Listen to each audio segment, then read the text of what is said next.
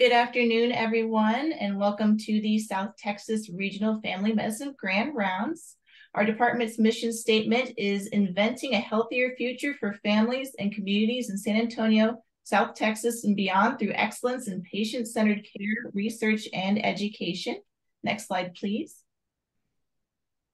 Thank you for in advance for muting your microphone once the presentation begins, being attentive to the presenters and engaged in the session keeping your cameras on when appropriate, registering for CME credit for each session, and completing and submitting a session evaluation form. Next slide, please. Uh, today is uh, September 13th, 2023, and our activity code is the following. It is 1009314. And in order to get CME credit, you need to text uh, the toll free number of 844 502 1338. Uh, make sure you text attend 100 Next slide, please. Uh, this is the CME credit via text, like I just went over. Again, the activity code for today, which is September 13th, 2023, is 100 93214. Next slide, please. Here's information on CME transcripts. I'll leave this up for just a moment. Okay, next slide, please. And the Academy, uh, American Academy of Family Physicians, AAFP members, you can use this login information as well. Next slide, please. Uh, here are the nationally established uh, physician core competencies for our grand rounds. I'm going to leave this up for a moment so you can all read it. All right, thank you. Next slide. In a conflict of interest statement, uh, Dr. Davila has no financial relationships with ineligible companies to disclose. Next slide, please. I'm going to now hand this off to Dr. Nadeau to introduce our speaker today. Thank you. Well, uh, thank you. It's a pleasure to uh, welcome Dr. Davila, um, Davila, back to the residency. She's one of our uh, former graduates. It always makes me proud to have one of our former graduates come to give us a grand rounds. Dr. Davila is an associate professor here in uh, this department. She is uh, jointly appointed with uh, Family and Community Medicine and the Biggs Institute for Alzheimer's and Neurodegenerative Diseases. She completed her medical training, her medical school here at the university, and did her residency here with us at the uh, at this family medicine residency, and then pursued her fellowship in geriatrics and hospice and palliative uh, medicine at the Utuska VA site. She is the medical director of the UT Geriatrics and Supportive Care Clinic and um, is the Associate Medical Director of a community hospice. So Dr. Davila is going to talk to us about comprehensive care for, for older adults. Thank you, Dr. Nadeau. And yes, very excited to be here to talk about obviously my passion, which is caring for older adults. Um, I do recognize that there's probably, um, this is all for South Texas, so I'll, I'll talk a little bit about our clinic and what we do as well. So we are the UT Health Geriatrics and Supportive Care Clinic. Um, we are a comprehensive care clinic for geriatrics, which means we do have a clinic here. Um, we are actually located in the Christus Towers, but obviously UT. Um, and we are located in the Christus Towers because we paired up with Christus Santa Rosa Medical Center. And so we do geriatric and palliative care uh, consults at the uh, hospital. If our patients um, discharge from the hospital and need rehab, we go to Warm Springs Rehab and Medical Center. And if they need skilled care, we go to a few different um, skilled nursing facilities to follow them there. We also, um, as of 2020 and a little bit before 2020, actually, we started home visits for our patients. So we do do home visits. We go to assisted livings, independent livings. We pretty much go anywhere um, the patient needs us. And then we are also a hospice medical director. So we work with four different hospices um, that, that we continue to take care of our patients and our families. So we really do a wide, broad um, spectrum of geriatrics, which I love. And so I'm, again, I'm happy to talk to y'all today about um, caring for older adults. So my hope is um, by the end of the presentation, we'll get some um, information on how to assess the functional ability of an older adult, um, define different components of a comprehensive geriatric assessment, describe the age-friendly health systems, the four M's, which is a, form of a rapid screen so that you can kind of get through taking care of older adults maybe a little quicker. And then other rapid screens, because I, I do understand in family medicine, you've got 15 minutes and you're trying to do a lot in that time. And so how can we help you help your older adults? So why do we treat older adults differently, right? And and you know, coming into family medicine, you're taught from the beginning, babies and children are not small adults, and I really do feel pediatrics and geriatrics are pretty common, right? So, um, or or the same. So geriatrics is kind of the same. Older adults are not the same as regular adults. Um, so we do have to look at them a little differently. Um, as we treat, you know, ch children and babies, we're basing things on age and weight. In geriatrics, we try not to be ageist, right? We're not looking at age as as the sole factor. We are looking at function. A person's function will dictate how we are providing care to them. Um, so, you know, again, I may have a 50 year old who is in a nursing home and really not functional right? How I treat that person versus a 75 year old who's running marathons. Very different treatment based on their function. And of course, we are getting our oldest old now, right? Patients 85 and older. So at some point, age may be a factor, but but function really is the key. And similar to pediatrics, right? We want parents involved when that's appropriate and in geriatrics, we've got to get the families involved as well. Um, so children may be the ones coming, siblings. I have a lot of siblings that help um, our patients. Like I said, I do have some really young um, patients with dementia that have parents that are their caregivers. Um, and then, you know, bless the souls of neighbors and people who just kind of come to help um, patients. So we're, we're really have to get everybody involved in care. And the goal of our comprehensive geriatric assessment is, in addition to determining medical status, really looking at these other components that are affecting their care. Um, so, looking at their functional capabilities, looking at psychosocial status, and really trying to develop an overall plan for treatment and follow up. As I was reviewing um, my presentation, it, it does get a little overwhelming by the end. you know, I, I have to remind myself, right? 15 minutes, how are you doing all this? And and I want to take a moment here to say this really is a team approach, right? One of the core components on um, what uh, this Grand Rounds is supposed to be about is really interdisciplinary teams working with our team members, you know, really utilizing other people, um, you know, pharmacists, the nurses, um, our, our psychologists, our social workers, our community health workers, promotoras, right? How do we come together as a team for some of these patients to just provide the best care that we can? So the comprehensive geriatric assessment, when performed on an appropriate outpatient population, which we'll talk about that in a bit, um, and when they have adhered to the interventions we have shown to, most importantly, prevent functional decline, prevent health-related decline. Um, again, very important, right, to improve mental health, um, improve, you know, kind of improve and prevent, right, long-term care placement, at least postpone long-term care placement, um, improving diagnostic accuracy and cost effectiveness, right?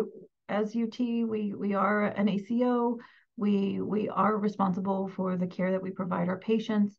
So we really do need to be cost effective and caring for our older adults well is is a, an important part of that. So who benefits from um, a comprehensive geriatric assessment? So an older adult right again it's not a catch-all phrase you know there there are different levels of older adults. Um, they do categorize by age. That's when you're hearing young, old, middle, old, oldest, old. But here again, we're focusing on function. So we do have the people who are too well to benefit, right? These are healthy individuals that maybe do not have a lot of medical conditions. Um, if they do have some medical conditions, are well controlled. You know, we can really treat those patients at, any clinic. It really does not have to be someone who's focusing on a comprehensive geriatric assessment. And then we have the patients that, you know, can benefit. And these are patients that you know, they have treatable conditions, but they're, you know, extensive conditions or they're severe conditions. Um, these conditions or medical um, diseases can affect their quality of life. Um, they have conditions that are very expensive to care for.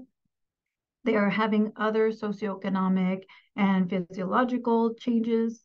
Um, they may be needing rehab, they may need home health, right? we're really needing that team approach to take care of this patient. So this is a person that really would be appropriate. And then there are other people who are too sick to benefit, right? These are people who have really end stage diseases, maybe very frail or cognitively unable to really kind of understand a plan and, and follow through with a plan. And this is actually a really nice slide because here at our clinic at the UT Health Geriatrics and Supportive Care, we're kind of undergoing our own revision of how we take care of patients here. Um, and we are actually using this, right? We are looking at our patients and saying, okay, before we used to take everybody 65 and older. We really don't have the bandwidth to do that. Um, so now, how do we look at patients and say, you know, these people are doing so well. They really don't need the team approach. And these are people that should go just to the family medicine or internal medicine um, physicians. And how do we maintain the patients that really need that team approach so that we can continue to provide them that care? Um, so again, we are using in real world and we're really using it right now to help us figure out which patients we continue to provide um, primary care services for. And this is also always a great slide um, to throw in to talk about, to again reinforce what we learned in medical school, right? Older adults do not have the physiologic reserve to bounce back the way um, they used to when they were younger. So here on the uh, y-axis, right, is physiologic reserve. And on the x-axis, we have aging and this blue line is the physiologic limit beyond where homeostasis cannot be restored. So a younger patient, you know, whatever healthy age, younger um, and healthy person, they can experience a stress. They have that physiologic reserve so that their body can be restored and they can get better. And as they age or just are more frail, right, the stress they experience, um, can pass their physiologic limit. And now they don't have the ability to recover the way they used to. Um, so their new baseline is, is going to be a different baseline than what they were at um, prior to getting sick. And sorry, I didn't mention, I'm always happy to take questions in between. Um, so if there are any questions, please feel free to um, reach out. I was just checking the chat, but it looks like uh, no questions quite yet in terms of the chat. So now if we look at the different components of a geriatric assessment. So again, I, I, um, I promise you by the end we will we will summarize it a little bit better, but yes, there are multiple components to a geriatric assessment. Um, medical, functional, psychological, and then the social environmental. So we'll first focus on the medical assessment looking at their comorbid conditions, medication review, and nutrition is one that they consider in this um, component. I didn't focus on um, the typical medical conditions, right? Diabetes, hypertension. We know an older adult is going to have all those medical problems, just like every other uh, patient may have. What I really wanted to focus on are the geriatric syndromes. the specific things that a geriatrician may kind of focus on a little bit more. Um, and so just kind of bringing your attention to those. Um, dementia, so cognitive, right, dementia, delirium. So dementia, and we have to understand how this patient is cognitively functioning in order to make sure that whatever plan we come out with is actually going to be followed, right? If they are having memory issues, well, then I really need to make sure I'm creating a list of everything that I'm expecting them to do. I need to make sure I'm contacting the family if they ended up coming on their own to reinforce, right, what we talked about and what is the plan. Um, so understanding their cognitive status is going to change how I take care of them. So I think that's really important to identify. Falls, you know, a quick question of, hey, have you fallen since the last time I seen you? you probably will get a response of, no, I didn't fall, I just tripped. Well, let's still analyze your tripping episode and see what happened, right? Um, a little later in the functional part, we'll talk a little bit more about falls and the different components of a fall. But, you know, a fall is important, right? It really does tell us a little bit more about their function or about their environment. So, you know, what is happening? And a fall can really lead to high mortality and morbidity. So, so it is an important thing to ask. Uh, their mobility disorders, right? You know, when you're walking around in your home, do you walk well? Do you have to hold on to the walls? Are you holding on to the, the furniture? You know, if they're doing those things, they really probably need more support in terms of their function. So just getting a little bit more history about how they're moving around. Weight is also really important. So, you know, that vital sign for me, after I look at their blood pressures and pulse and oxygen, I'm looking at their weight. Have they dropped? Have they gone up? Or have they stayed the same? Um, so if they are dropping, right, I need to get back into, so how are things going at home? When do you have breakfast? What do you have for breakfast? Do you just have two meals? What do those two meals consist of? um, and really gauge are they just not getting enough calories in? Is there something else going on? Um, and they talk a little about nutrition a little bit later too, so we'll get into that a little bit more then. And when we talk about incontinence, right, or their bowel and bladder issues, right, if they're having incontinence, um, you know, are they changing appropriately? If they're having incontinence and they're sitting all day, how is that affecting their skin? So making sure that we kind of connect how incontinence is being managed at home and how their skin is doing. Um, and tied to that, right, is constipation as well. If you know they're not moving around as much, they're not hydrating well, uh, they're going to have more constipation issues, and and we want to keep addressing those proactively um, impaction is very painful, right? And disimpacting someone's very painful. So, so we don't want to get to that point. We want to address it before. Elder abuse, you know, we are all mandated reporters. So you always have to keep that ear out if something is not sounding right, whether the patient is self-neglecting, right? Um, the family wants to be involved, they're not allowing them, they're not taking their medicines, they're not living in healthy conditions do we get APS out there and, and we are mandated to to report it and let APS decide if it's really self-neglect or not. Um, or, you know, families, you know, spending money or the patient complaining that families are taking money, obviously all that really important. Um, we still as a society you know, don't identify elder abuse very well. Um, so again, it's just something that we really need to kind of keep our, our ear out for and report. APS does have an online method, which is very quick compared to staying on the phone for 20 minutes. Um, so again, just, just making sure that we're, we're keeping an eye on that. And then polypharmacy and, and hearing impairment. We'll talk about both of those a little bit more in depth. So polypharmacy is, is huge for our older adults. I'm, I'm sure most of your patients are coming in with more than four prescription medications. Um, and just so that we're reminded, more than four is considered polypharmacy. You may hear different numbers here and there, but in the end, um, more than four prescriptions has is shown to increase risk of falls in our older adults. five or more prescription medications does increase the risk of adverse drug reactions. Uh, and there are quite a bit of hospitalizations based to drug-related, you know, issues, polypharmacy, and is the fifth leading cause of death for hospitalized older adults. Now, how can we combat polypharmacy? So in our clinic, so at uh, the UT Geriatrics Clinic, the clinicians are the only ones who input and take off medications. So our staff does not review medications with a with a patient. That is done when we're in our visit. And we purposely made this decision as the clinicians because if a wrong medicine is put in, that's pretty detrimental to an older adult.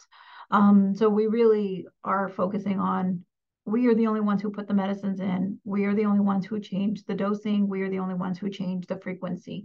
Uh, our staff have great protocols where they can assist with refills and all those things. If it's in the system, they are able to do it, but they are not adding or or taking out medicines. Whenever we're looking at any new issues, right, we're always weighing the risk versus benefit. We have an amazing Beers criteria that can help guide you. Um, the reality, though, is pretty much every medicine is on Beers criteria because, in some way or form, it can be a risk to an older adult. So, we're really just having to analyze the risk versus benefits.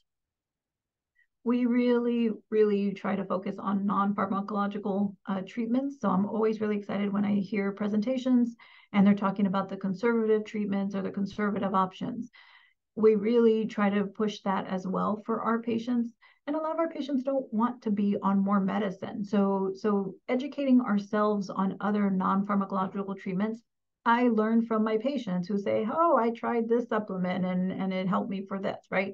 I may look into it a little bit more but again having a little bit more in our back pocket for non-pharmacological treatments for patients um, if possible always looking. So another component to reviewing the medications, it gives me an opportunity to really stop unnecessary medications. Really asking, you know, are you still using this? Is there still a need? Can I take it off, right? So that we we minimize your medication list. Um, we're always looking at decreasing or tapering um, medicines if possible, and monitoring adverse effects and avoiding the prescribing cascade. So I usually really like to talk to um, the residents and students every time our patients have a new issue. All right, are we just sure that this is not a side effect from something else, right? We don't want to keep, you know, we have a medicine, it's causing a side effect, so we're going to add another medicine and we're just going to keep adding medicines till hopefully the patient feels okay. But maybe we could have eliminated that first one and it would have minimized two or three extra medicines. So really always asking are my medicines helping me or hurting me for the patient? And, you know, is this appropriate for them?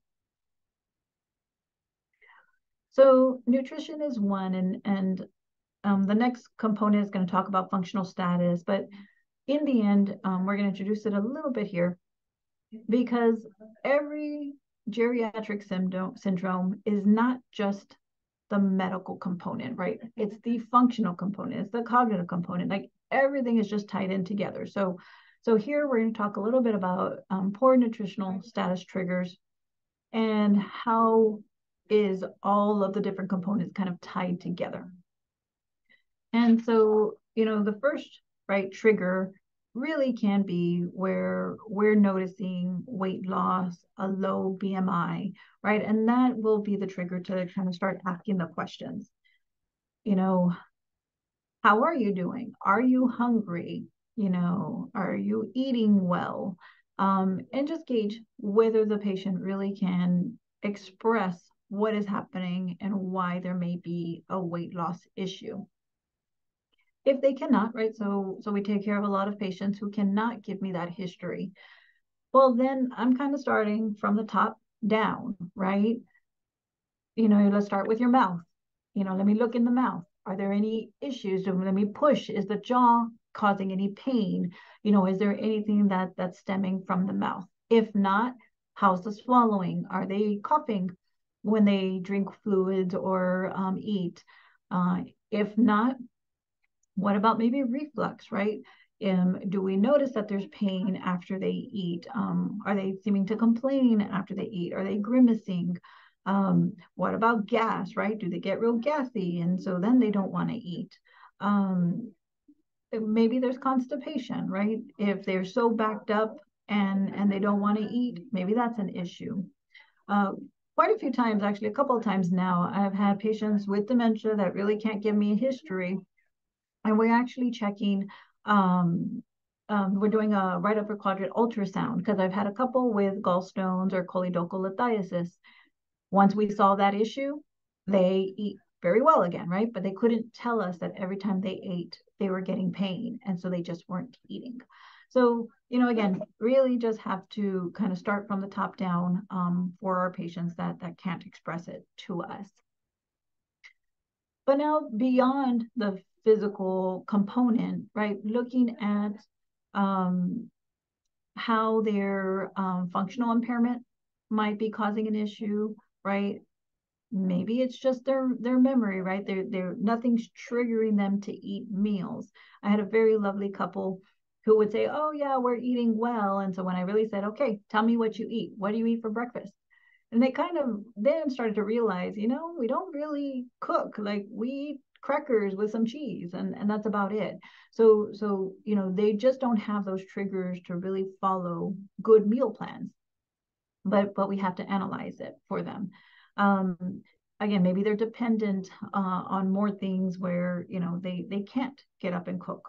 Um maybe they are depressed. Um you know they just don't have the desire to eat um, or there's a lot of social isolation.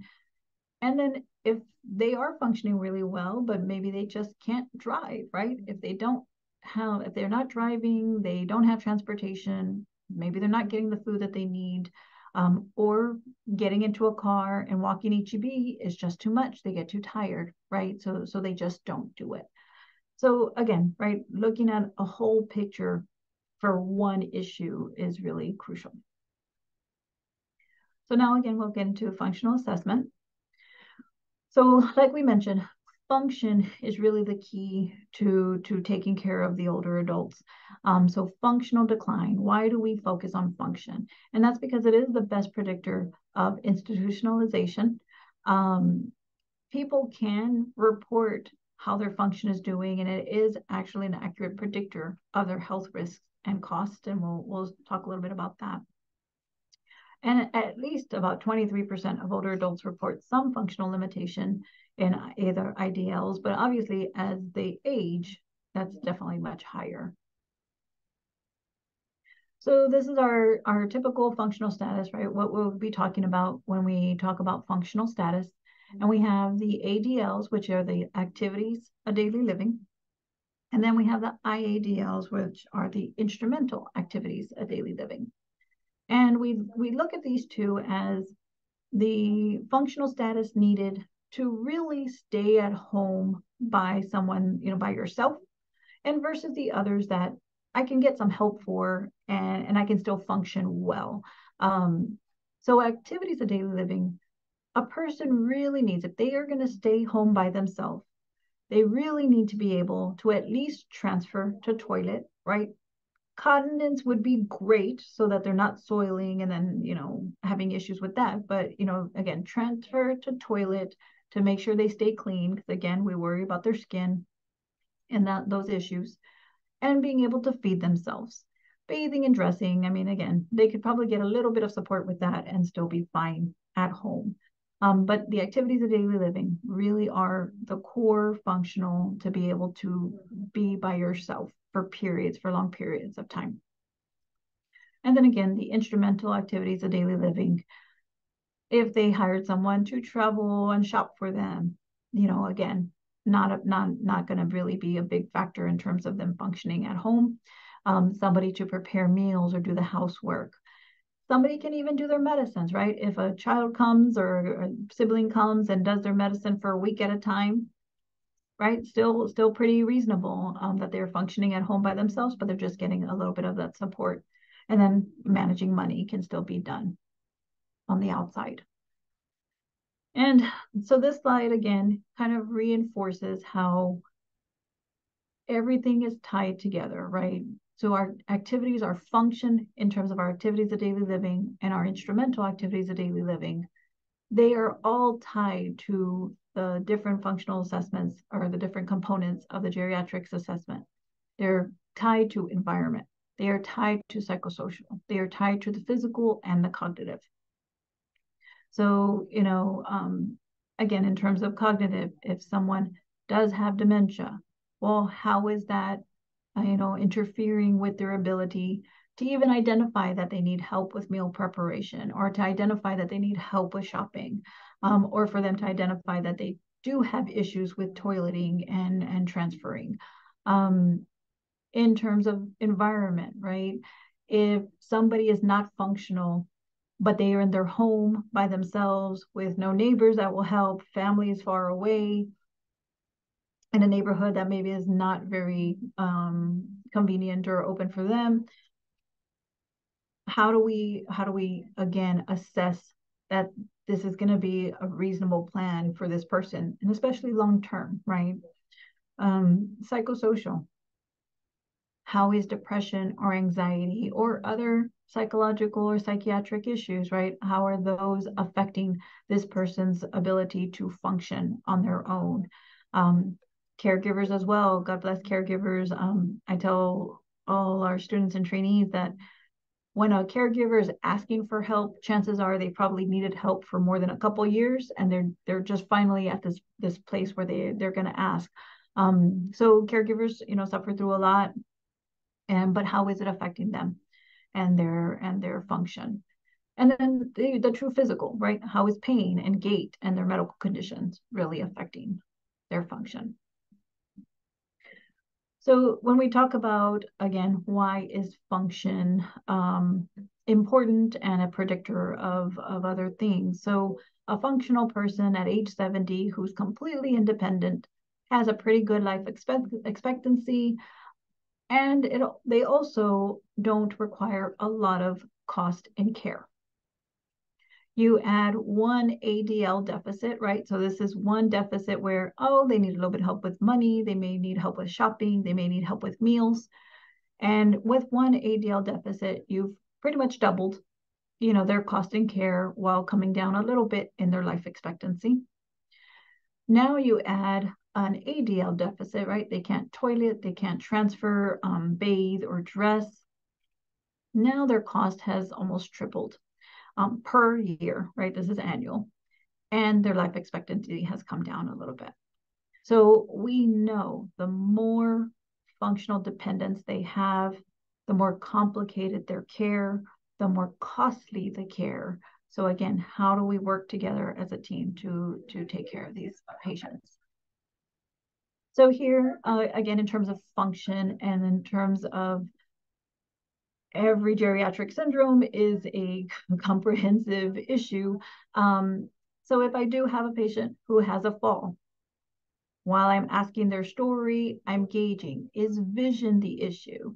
They tripped over, you know, the step because they couldn't decipher that you know, there was this kind of uh, change in depth, right? How do we help them with that? Um, in their sensory. You know, do they have neuropathy?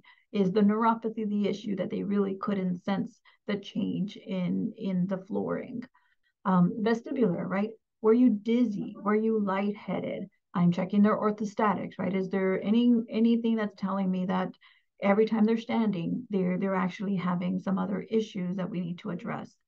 Um, musculoskeletal, right? Is it a true strengthening issue? If we get some physical therapy, will that help them be able to function a little bit better?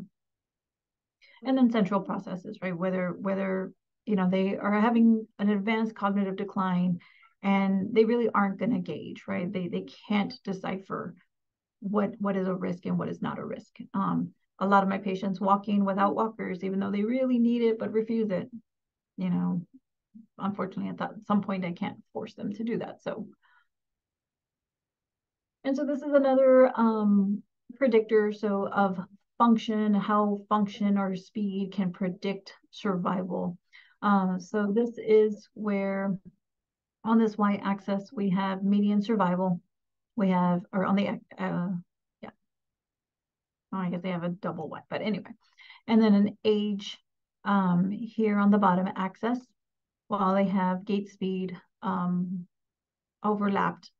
And you'll see a young person at age 65 with a very normal gait speed will actually gain about 30 years, 30 plus years of survival. This very, very functional person, even at age 95, um, still has an expected survival of about eight years. Years here.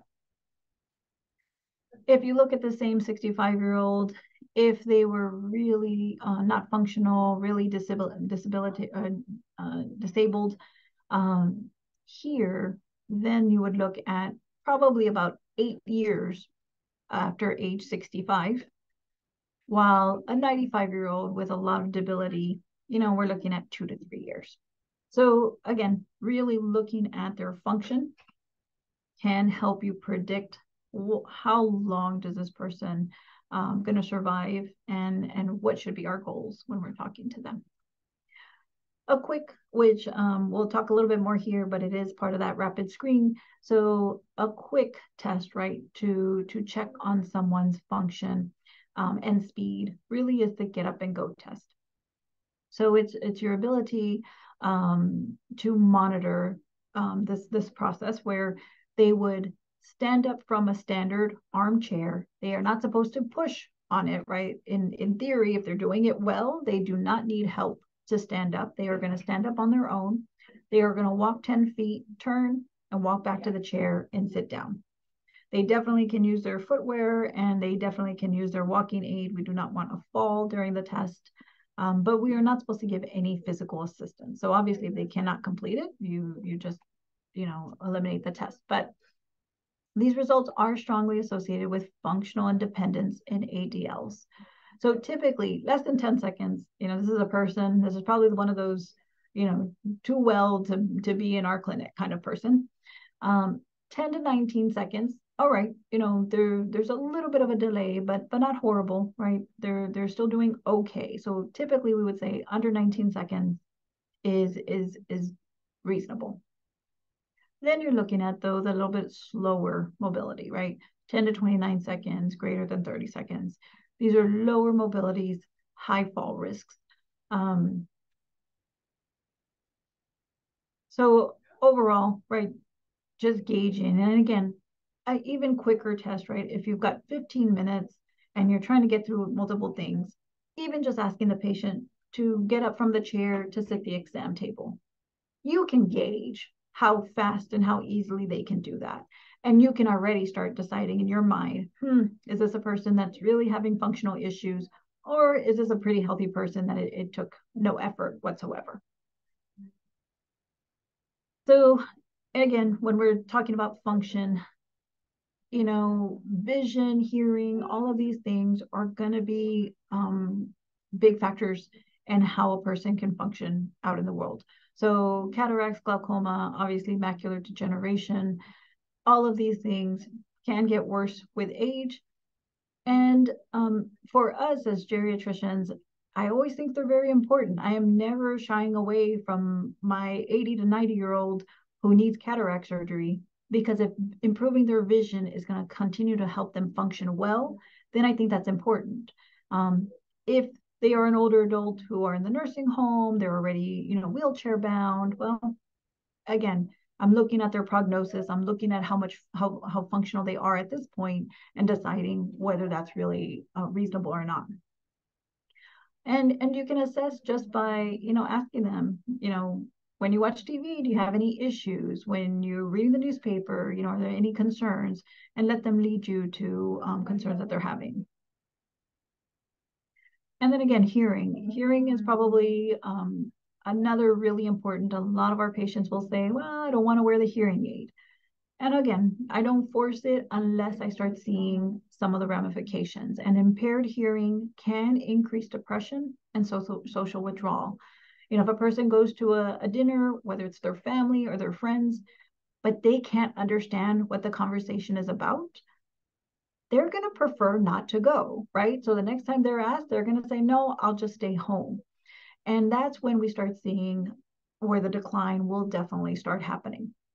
So that's when I start pushing for the hearing aids um, if it's really starting to impact their um, social life and their quality of life. Most importantly, anytime someone tells me, I think I'm having hearing issues, we're always checking their ears. Because if we can clean out some wax and get them hearing a little bit better, or just, you know, help them feel a little better, because sometimes it's painful, um, you know, that's a win win for everybody, right? And, and it avoided hearing aids, which are obviously very expensive um, and not covered by most insurances. So really just making sure that we're taking a look in their ears and, and helping them with that. All right, psychological um, assessment, again, um, talking about dementia and depression.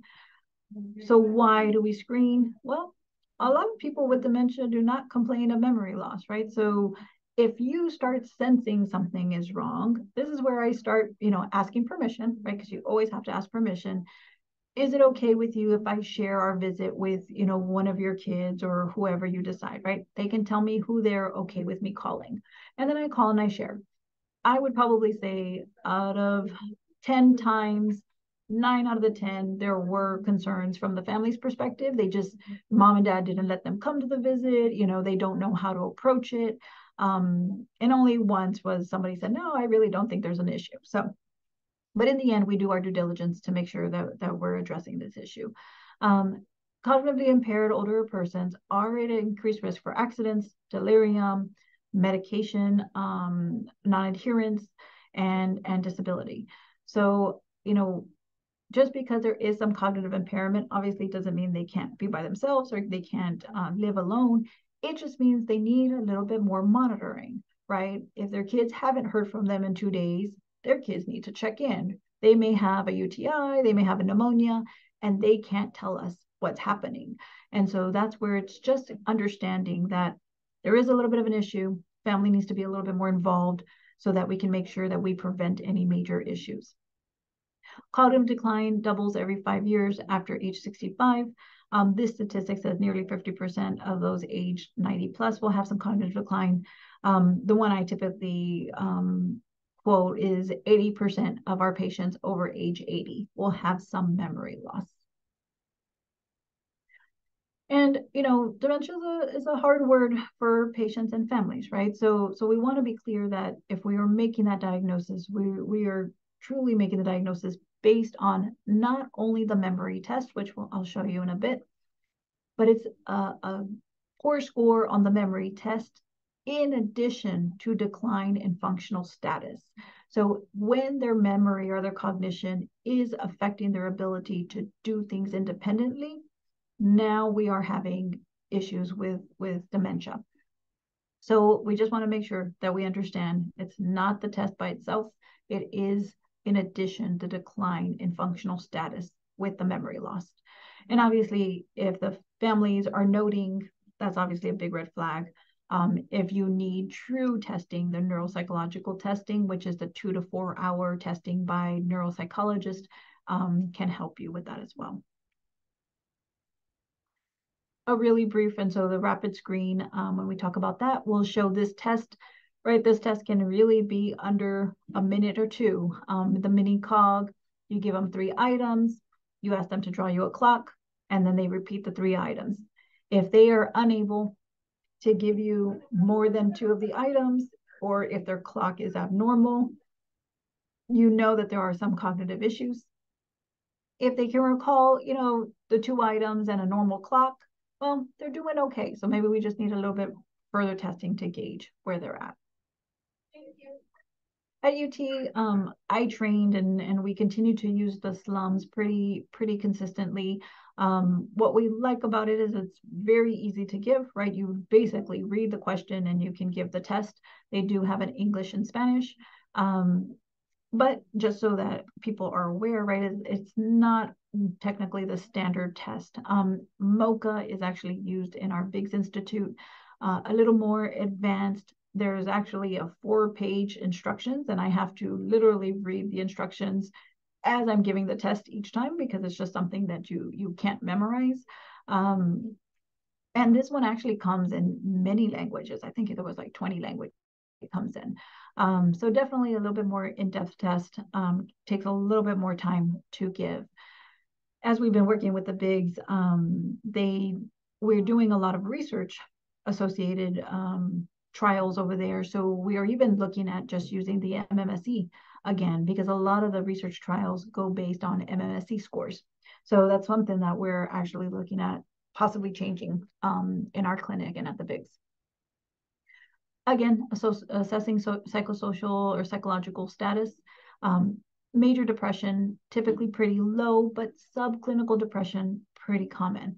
So asking a general question, do you often feel sad or depressed? We can talk a little bit, this generation often does not admit to depression, right? So that's that's the first issue. And a lot of them may not even understand what depression is. Um, so so if they don't kind of give you that sense of, yeah, I'm not sad, I'm not depressed, but you're still noting you know they're not going out the way they used to they're not you know doing their hobbies they're not being engaged they're losing weight they're sleeping all the time then i think it's very reasonable to give the geriatric depression scale um, which i'll show you next. Also watching for any bereavement right? There's lots of loss in this age group as well. They're losing you know loved ones and family members and friends. So so obviously that's a, a big issue. So in terms of the geriatric depression scale, uh, yes or no questions. Some of the questions I think are a little bit hard, you know, to ask a person, but you know, do you feel pretty worthless the way you are now? I always kind of, you know, warn them when I'm going to give that that question. But in the end, what it's looking at, so it's not just a are you depressed? It's have you dropped many of your activities and interest? Or do you often get bored? Uh, let's see. Do you stay, do you prefer to stay at home rather going out and doing new things? And of course, obviously, obviously with a little caveat, right? If this person was a homebody and they always prefer to stay home, okay, fine.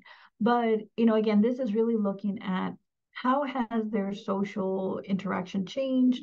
You know, if they were a very outgoing person and now they're not, depression may be a component that they're just not recognizing. So now we'll talk a little bit about social assessment and environmental assessment. So really just looking at the the whole picture about their needs in terms of safety and um, resources. In terms of social history, so my first new patient visits always includes a talking about, you know, how much education did they have? What were their previous um, um, jobs? What are their hobbies? How do they keep themselves busy? Then looking at the quality of their relationships, right? How many children have you had? Who lives here in town? Who is your support?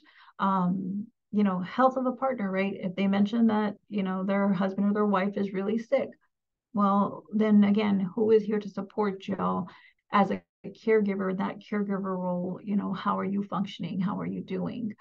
Um, I will ask them typically what a typical day is. So I can get a sense of do they get up and then just sit and watch TV all day, or are they a busy, active person?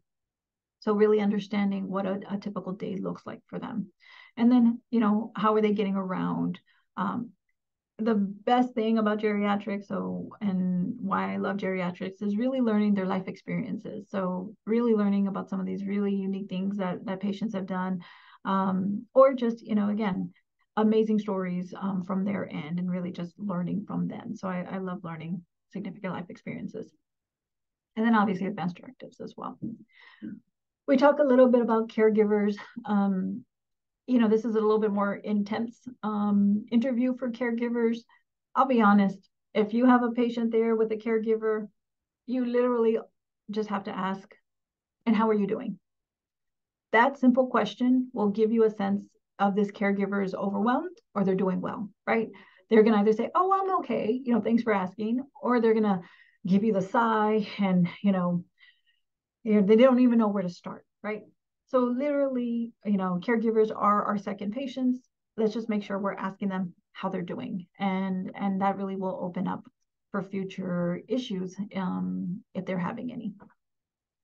In terms of home safety, so an occupational therapist, or you can order home health occupational therapy if you have concerns, and they can go out to the home and really assess the safety um, of the home. Our home visits, and this is why I really love our home visits, but uh, our home visits, you know, we get to do this as well, right? I get to look for the rugs, if you can see in that top picture, right? Do they have rugs that are not, you know, taped down or stapled down or nailed down? Um, looking in the refrigerator, you know, do they have a lot of old food? Um, looking at their bathroom, do they have great, you know, grab bars so that they can use it? Another great thing in terms of um, the clinicians doing the home visit is looking at their medicines. Uh, you know, I can't name how many times I asked them to pull out, you know, their pill box and their pill box one day has three, one day has two, one day has one, right? And yep, they're they say that that's the pill box that's ready for the week and it, it's not matching whatsoever. So so really being able to get a sense of how things are going in the home. Um, but again, if you're not able to do that, you, we have occupational therapy and home health that can do that component. Um, if you are fortunate enough to be able to do it yourself, it's great um, experience um, for you and, and the families. All right, so rapid screening. Again, I completely understand when we are limited on time, right? How are we going to address all these different components um, for a patient? And so if, if, if you only remember a few things from today, um, keeping in mind the four M's. There's actually another one called the five M's, and so I'll add that at the end of it. But um, four M's. What matters most to the person? Medication, mentation, mobility. Okay, money is the fifth M. And again, we'll talk about that at the end. But so if I have a short visit that that you know I'm pressed on time, again, I do review all the medications myself. So going through the medications and just making sure I'm not seeing anything that's that's you know really needs to be addressed. Uh, making sure in terms of memory and and cognition, right, that this is the person that I, I'm giving the plan to. I shouldn't be contacting someone else. In terms of mobility, just asking them to get up from the chair to sit in the exam table. That can take us, you know, 30 seconds to to see what is this person's mobility and if you just tackle one medical concern from them you can ask them what would matter most to you what what is what could i change today for you that could bring you more happiness or better quality of life and and see what they say right I get answers. Probably one of the most common is incontinence issues, right? Hey, doc, I really haven't even left the home because I'm worried about incontinence. And, you know, if, if I could get that better, I could probably go to the activities at the assisted living. Um, so, you know, just really phrasing that question What's most important to you? If I could address or improve something for you that could bring you more happiness or a better quality of life, what would that be?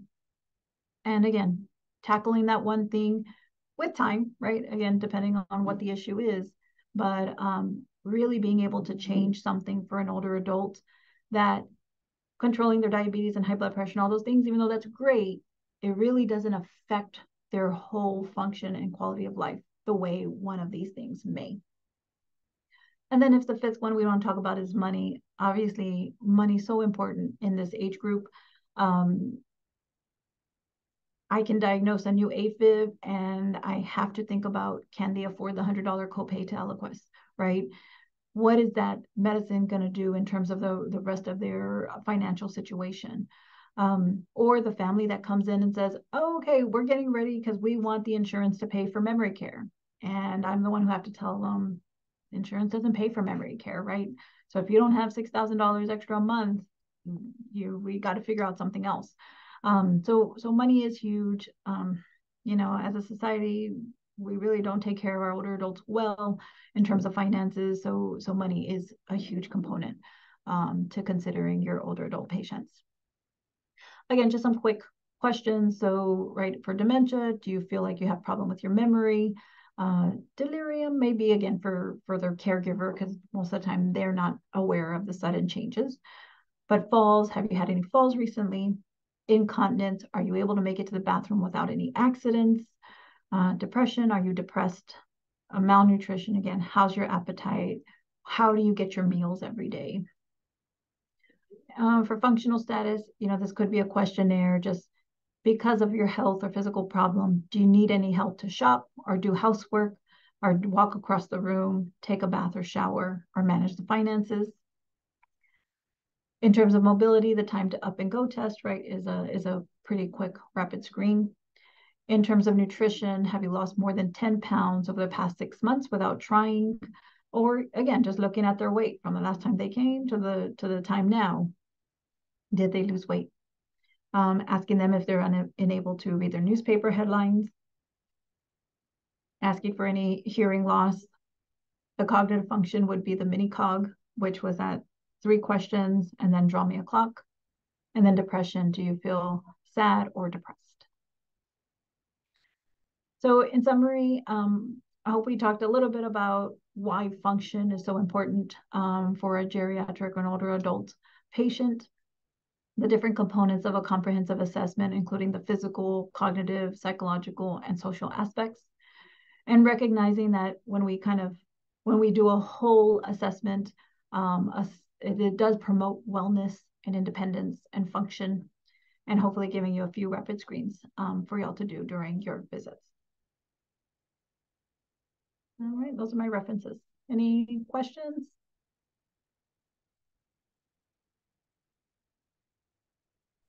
I have a question. Okay. So in our in our clinic, what would be your suggestion for us to tackle this like step by step? Because I as I understand we cannot do it all in one visit.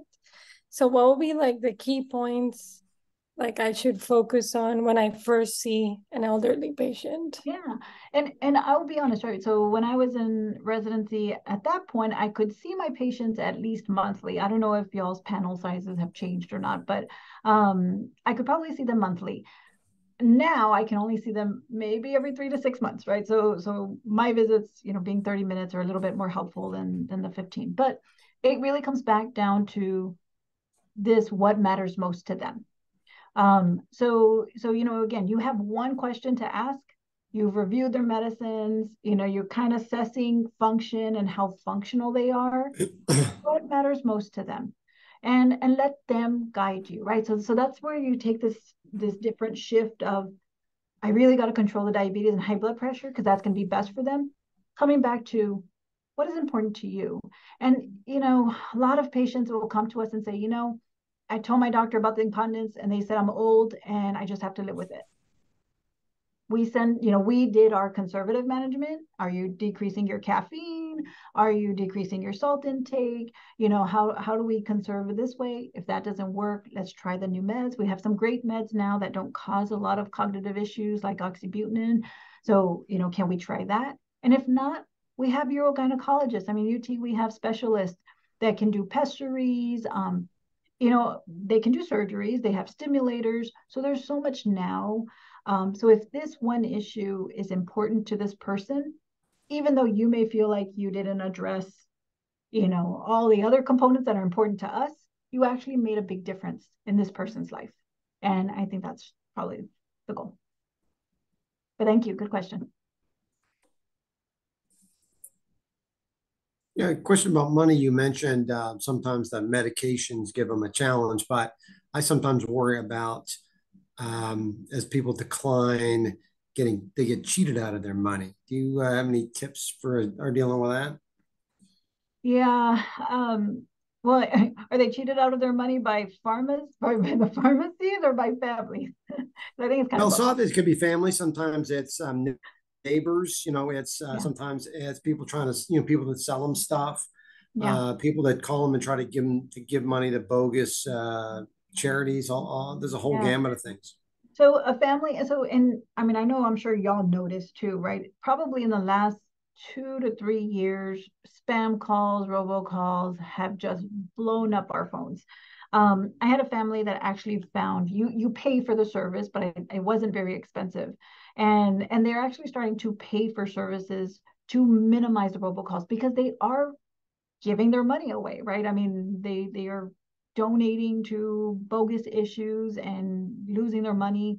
Um, the only way families are finding out if families are involved. So if a if a person's not involved, I mean, so I mean that's a good one. I I don't typically ask, are you donating money to you know to the phone people or whoever's calling you, um, but it is a good question to ask. You know, we we I'm not doing that regularly. Um, So that's an interesting tip. Do you have the name of that service or could you get it for us Um, at some point? let me let me see if I can find it. Yeah. Um, I Yeah, think I That'd be interesting. I'd like to know that. Yeah, thank you. Yeah. Um, but uh, but those are the kinds of things that, you know, again, we learn from our other families too, right? So when somebody does say, "Hey, this was happening," oh well, what did you do about it, right? And Mhm. see where the families, because the families will research it and start start finding a way to solve the problem.